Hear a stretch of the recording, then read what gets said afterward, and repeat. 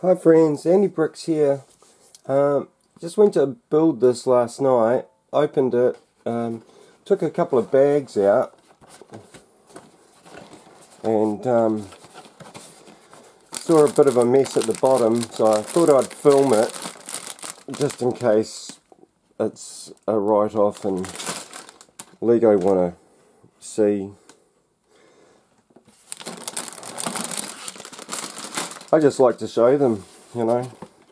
I've had an issue with them before, um, buying sets, um, had a couple of missing bricks and stickers and stuff, and um, I didn't quite understand how it worked, but here's our sticker. What a beaut that is. Now, I'm going to have to get another one because I can see already that it's got a couple of hard folds right through it at the bottom there. What a shame, you know.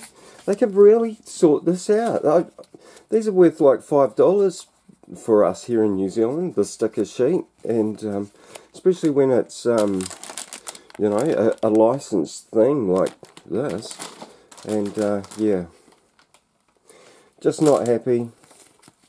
Once again, um, I've got about six stickers I think that I need to get off Lego. I still I'm, i was going to ring them on Friday. Um, it's Monday today, so a couple of days ago I was going to ring them. Been meaning to do it for months.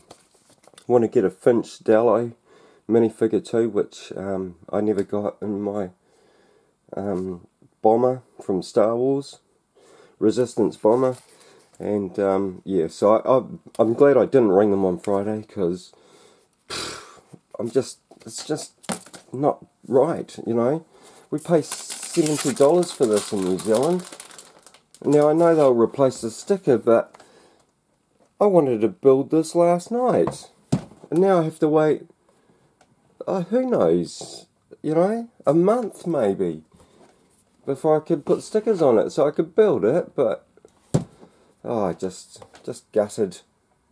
Sort it out, Lego, please. Please sort it out.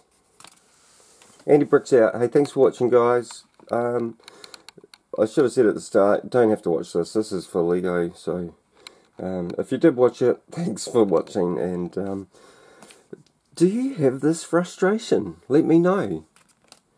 Peace out, guys. Have a great week.